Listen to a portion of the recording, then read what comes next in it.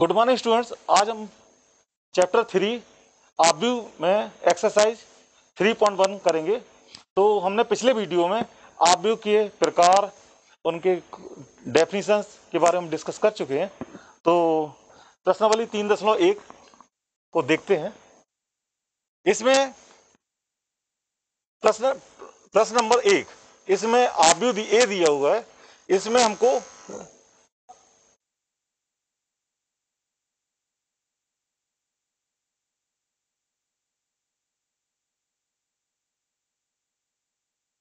आब्यू की कोटि चाहिए, ज्ञात करना है।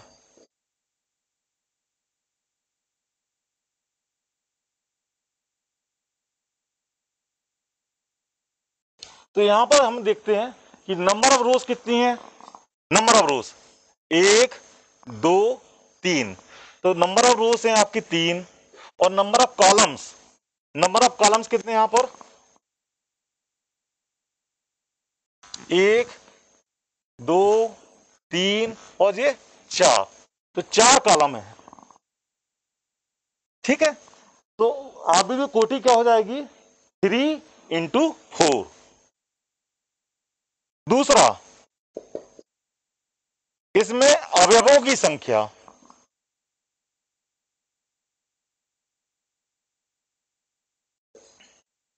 तो आपकी जो कोटि है थ्री बाई फोर कितना हो जाएगा? ट्वेल्व अवयवों की संख्या कितनी हो गई? ट्वेल्व तीसरा क्वेश्चन है, इसमें हमको इस अवयवों के मान बताना है। तो हम इसका तुलना इससे करते हैं।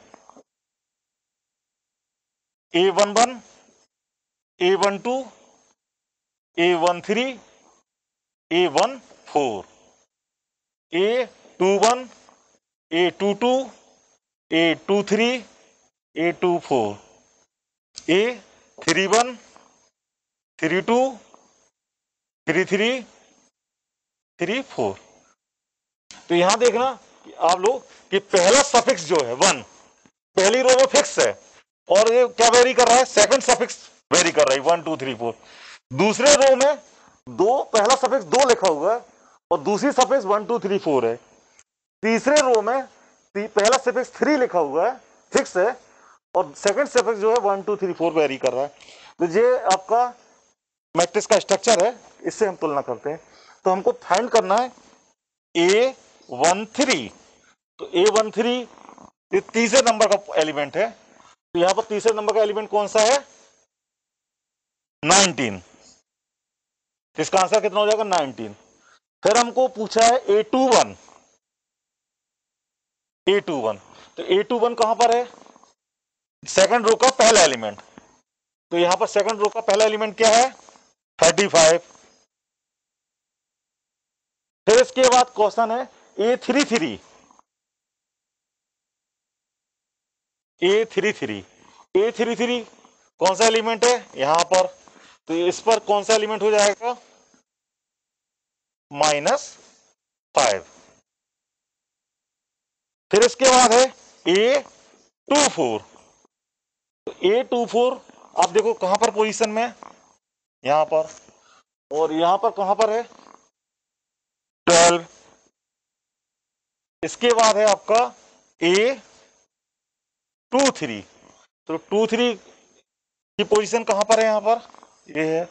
और यहाँ पर कहाँ है? ये तो ये हो जाएगा फाइव बाई टू तो ये इसके आंसर्स हैं। इस तरह से आपको क्वेश्चंस की प्रैक्टिस करना है।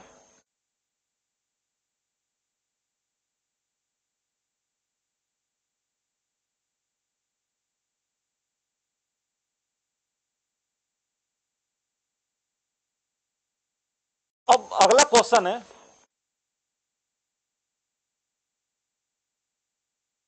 इसमें हमको किसी आयु में 24 अवयव दिए हैं 24 अवयव दिए हैं।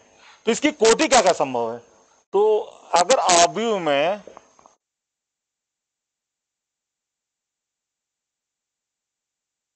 ट्वेंटी फोर अवयव हैं तो इसकी कोटि क्या क्या संभव हो सकती है? इसकी कोटि संभव होगी। One by twenty four twenty four by one. ठीक है? यानी रो मैट्रिक्स हो जाएगा जिसमें एक रो हो, चौबीस कालम हो, या चौबीस रो हो और एक कालम हो। ठीक है? और हो सकता है दो से डिवाइड करें तो।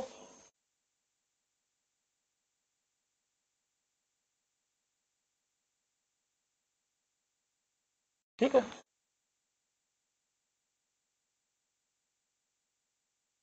इसके बाद तीन से भी डिवाइड होता है। Three into eight eight into three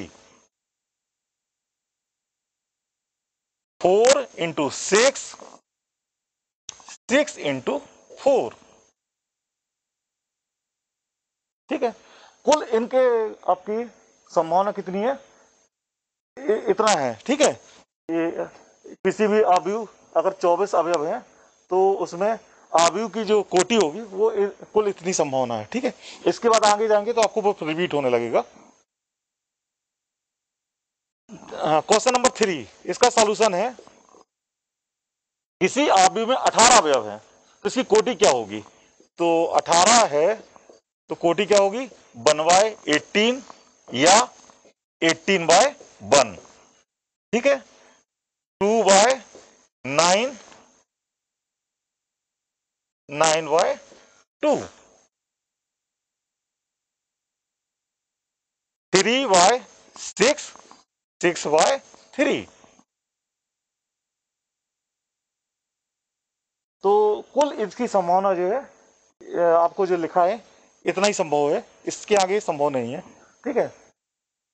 और यदि इसमें पाँच अवयव हों यदि आव्यू में पाँच अवयव हों। तो कोटि। क्या संभव होगी? One into five five into one क्योंकि पाँच में और आप किसी संख्या से डिवाइड नहीं कर सकते, इसलिए इसकी कोटि दो ही संभव है। ठीक है?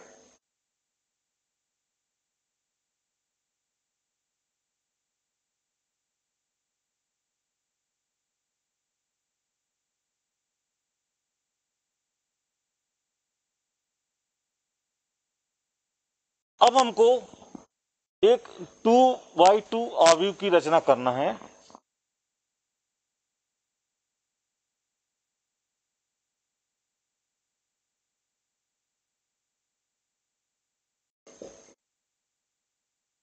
इसकी कोटि क्या है ऑर्डर टू बाई टू इसका मतलब कैसा होगा ये A one one A one two A two one A two two ठीक है?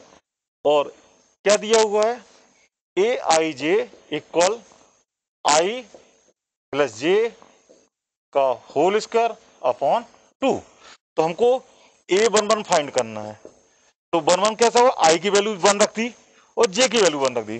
तो वन प्लस वन का होल स्क्वायर अपॉन टू कितना हो जाएगा?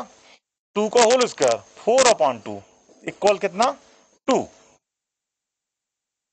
A one two one two है ना? आई इक्वल टू वन और जे इक्वल टू टू इसका होल स्क्वायर अपॉन टू कितना हो जाएगा?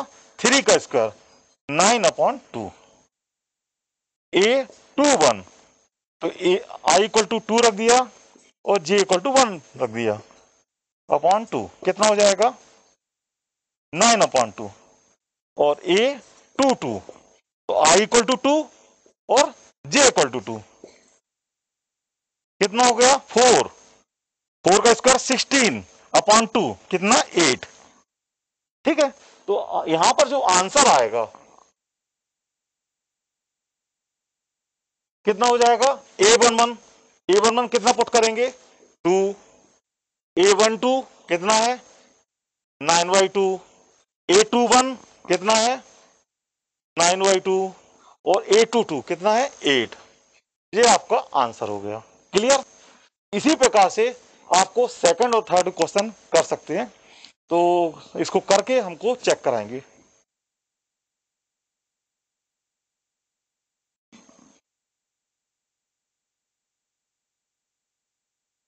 अब हमको इसमें एक्स वाई जेड के मान ज्ञात करना है।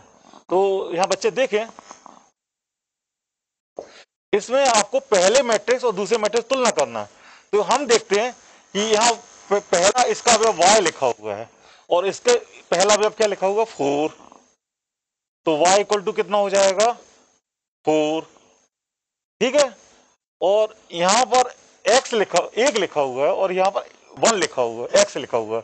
तो x इक्वल टू कंपेयर करने पर वन और यहाँ पर थ्री लिखा हुआ है और यहाँ पर z लिखा हुआ है।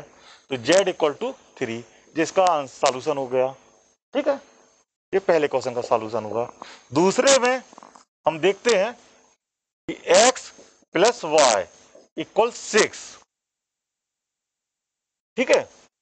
और five plus Z equal to five और x into Y equal to eight ये कंपेयर करने में देखता हूँ। तो इसमें आपको क्लियर है, z इक्वल टू कितना हो जाएगा? फाइव माइनस फाइव ज़ीरो तो z इक्वल टू ज़ीरो हो गया। अब इसमें हमको x plus Y equal to six दिया है और x into Y equal to eight दिया हुआ है। तो आपको इसको टू वेरिएबल्स वाला है। तो इसको सरल करना पड़ेगा। तो हम देखते हैं, यहाँ पर y इक्वल टू हो जाएगा एट अपॉन एक्स अब इस y का मान समीकरण नंबर वन में रख दिया। तो x plus eight upon X equal to six इसको सरल करें तो जो हो जाएगा एक्स वर्ग, और एक्स का सिक्स में गुणा करके तो minus six X plus eight equal zero तो ये आपका क्या मिल गया? वर्ग समीकरण। वर्ग समीकरण है। अब वर्ग समीकरण को फैक्टराइज करना पड़ेगा। तो आपको सिक्स को दो पार्ट्स में डिवाइड करना है, जिसमें दोनों का सम एट आता है और मल्टीप्लिकेशन मल्टीप्लिकेशन एट आता हो और सम सिक्स आता हो। तो हम देखते हैं कि X square minus two X minus four X plus eight equal zero. तो एक्स कामा निकल गया? तो एक्स माइनस टू और इसमें माइनस फोर कामा निकला तो X minus two equal zero X equal minus two X minus four equal zero इसका मतलब X equal to two and four ये एक्स के दो मान पॉसिबल हैं टू एंड फोर तो आपको एक्स की, और एक्स की जब वैल्यू पता चल गई है तो वाई इक्वल टू कितना हो जाएगा? एट अपॉन यदि एक्स का मान टू रखते हो तो फोर और यदि एक्स का मान फोर लेते हैं तो टू। ठीक है? तो हमको यदि x का मान टू लेते हैं, जैसे x वाई जेड के मान होंगे तो यदि x का मान टू लेते हैं तो y का मान फोर, और z का मान तो ज़ीरो रहेगा। और यदि x का मान फोर लेते हैं तो y का मान टू, और z का मान ज़ीरो। तो इस प्रकार से ये आंसर होंगे। ठीक है? तो इसको सभी बच्चे नोट कर लें। इसी प्रकार से तीसरा क्वेश्चन भी आपको करना है। तो तीसरे क्वेश्चन के लिए आपको ये तीसरा आंसर है। X plus Y plus Z equal nine X plus Z equal to five Y plus Z equal to seven तो यदि हम x plus Z five X plus Z equal to five रख देते हैं तो y इक्वल टू कितना हो जाएगा? नाइन माइनस फाइव कितना हो गया? फोर और y प्लस जेड यदि हम सेवन रखते हैं तो x इक्वल टू कितना हो जाएगा? टू और x का मान टू और y का मान फोर रखने पर सिक्स घटा देंगे तो z इक्वल टू हो जाएगा आपका थ्री ये आपके आंसर आ गए। तो ये तीनों हमने क्वेश्चन कर दिए तो इसको अच्छे से नोट कर लो। और अब हम अगले क्वेश्चन पर आते हैं।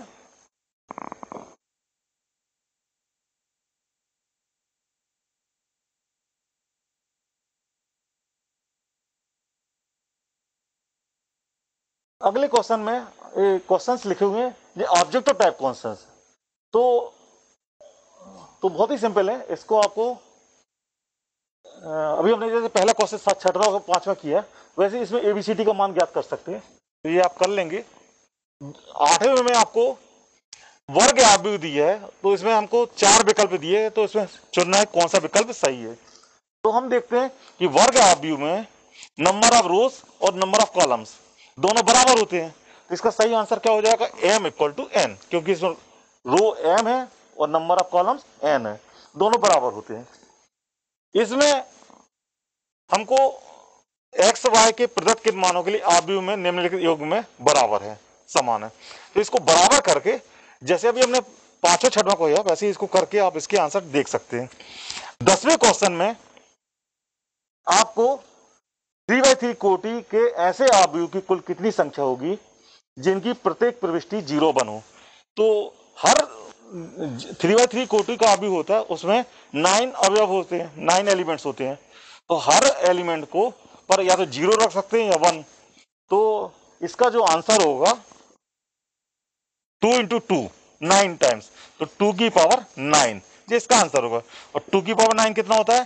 फाइव वन टू तो इसका सही आंसर कितना हो जाएगा? फाइव वन टू ठीक है? तो ये आपकी एक्सरसाइज कंप्लीट होती है। Thank you